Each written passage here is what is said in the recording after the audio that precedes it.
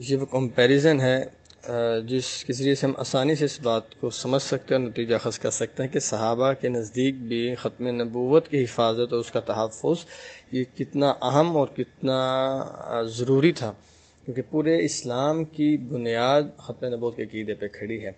तो आप इस्लाम का दौर बेसत तकरीबन तेईस साल और तेईस साल में हिजरत के बाद दस साल जो मदीना की लाइफ है, तकरीबन दस साल जो जहाद का हुक्म भी हिजरत के बाद आया तो दस सालों में जो गजवात और सराया हुए, उनकी तादाद तकरीबन 83 एक तहकीक के मुताबिक तो इन 83 लड़ाइयों में 10 सालों में इस्लाम की हिफाजत के लिए जो सहाबा शहीद हुए, अपनी जानें जिन्होंने पेश की, वो 259 और इस्लाम की हिफाजत के लिए सहाबा ने 759 काफों को कत्ल किया और उनको जहन्नम वासी किया।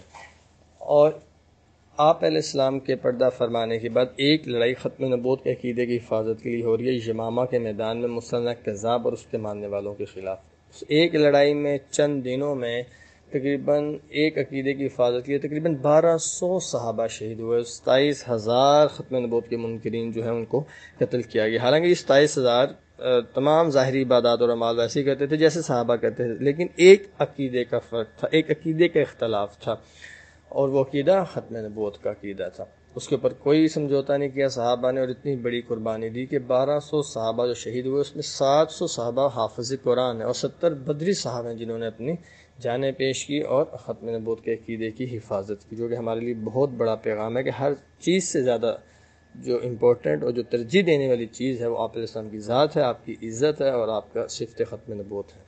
और ये वो यमामा का मैदान है, जिस मैदान में बारह सौ सहाबा का खून गिरा, उन्होंने अपनी जानें पेश की। हालाँकि एक सहाबी रसूल का, एक खून का कतरा बाद में आने वाली कुल उम्मत के कुल खून से अफजल है।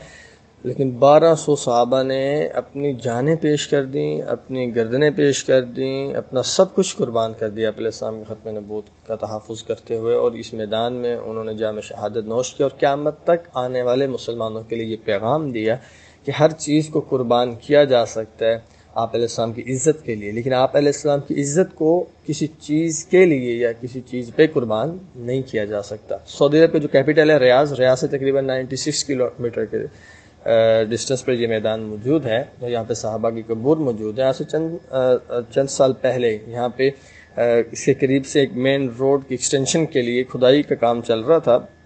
खुदाई करते हुए इस मैदान के करीब जब मशीनरीज पहुँची और वर्कर्स पहुँचे और यहाँ पे खुदाई का काम और अमल शुरू किया तो खुदाई करते हुए अचानक दो सहाबा की कबूर खुल गई और दो सहाबा की कबूर वाजे हो गई। तो जब मुकामी लोगों ने काम करने वाले लोगों ने देखा तो तकरीबन साढ़े चौदह सौ साल गुजरने के बावजूद सहाबा के जिसम भी तरोताज़ा और कफन भी तरोताज़ा जैसे अभी आराम फरमा हुए हैं। तो ये इतनी बड़ी अल्लाह ताला की तरफ़ से उनकी आ, उनके हक और उनके ऊपर इनाम और उनके ऊपर रहमत और उनके ऊपर अल्लाह ताला ने अपनी नेमत को तमाम किया।